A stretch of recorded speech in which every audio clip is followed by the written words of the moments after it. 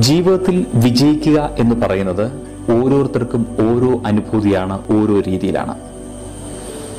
ചില ആളുകൾക്ക് സക്സസ് എന്ന് പറയുന്നത് കേവലം ഒരു സന്തോഷം മാത്രമാണ്.